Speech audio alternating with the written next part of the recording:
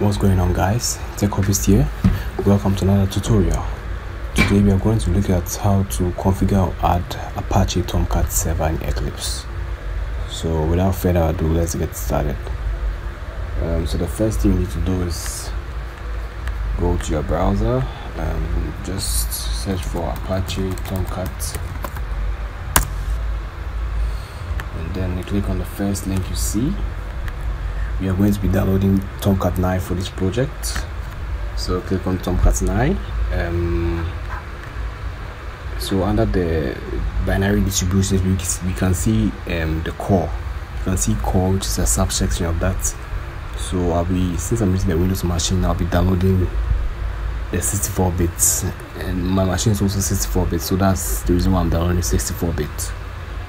So your machine can be 32 bits you can do that by going to uh, Windows key the Windows File Explorer type, clicking on properties and then checking out your system type.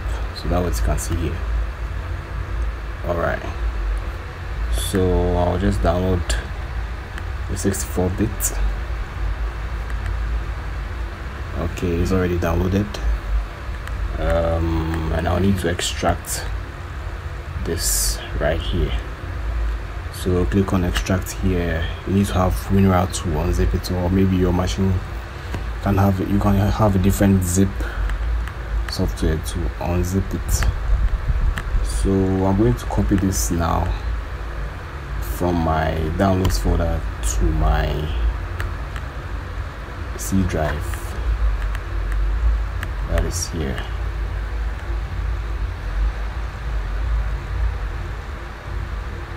once you're done.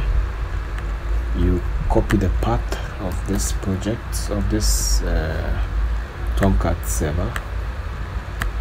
Head up, head to your eclipse id then you see there's this uh, link here. If you if you're not seeing servers i think you can also type it in the quick access menu here. So you see servers here right so just type you see no servers are available. Click this link to create a new server. So you click on the link. You can see apache here. And i'm using version 9 i downloaded version 9 so i just click on version 9 here.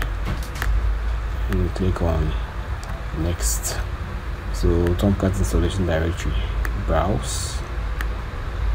Uh, i already i placed this tomcat folder in my C drive.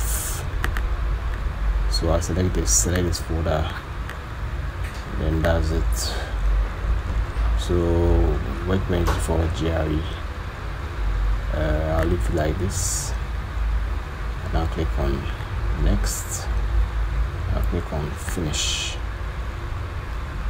So now I've, I've successfully added my Tomcat to my Eclipse ID now let me start this server.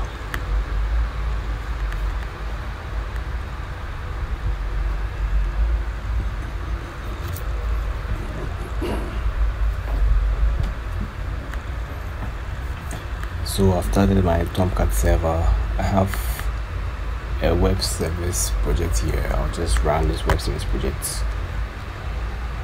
on Tomcat. So run on server I'll choose my Tomcat server here. Click on finish.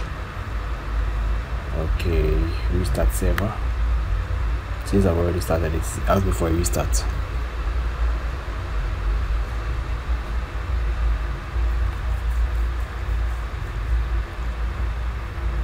Ta-da.